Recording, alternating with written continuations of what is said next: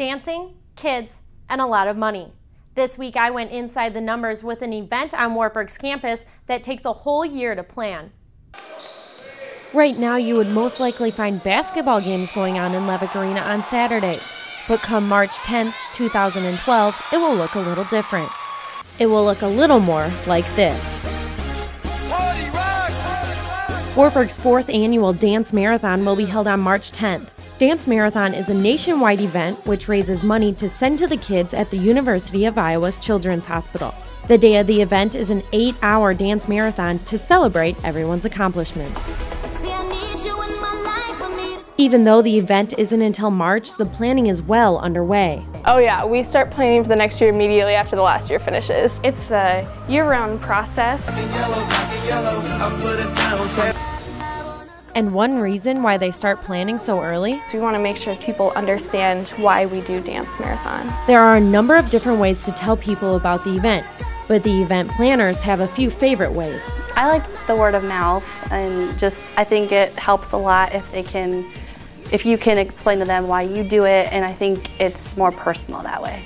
I like to tell the stories of the family actually so that people more look at it as a cause rather than, oh my gosh, I'm gonna have to raise so much money for this.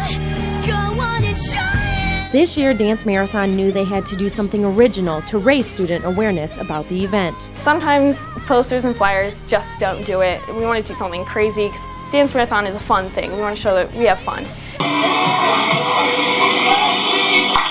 We did a flash mob in the Mensa. And that was pretty cool. It raised awareness. I'm not sure if a lot of people signed up after that, but at least they know we're here. Even though it is very time consuming, the end result is worth it. The day of the event is really fun.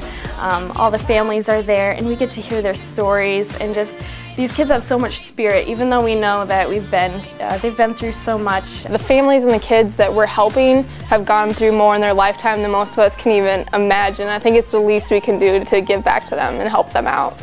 For me it holds a special place in my heart and it just it, that's at that event it all comes together of what you've been doing all year, what you've been working for. And it's just a big celebration and to see all the kids and the smiles on their faces, it's really rewarding.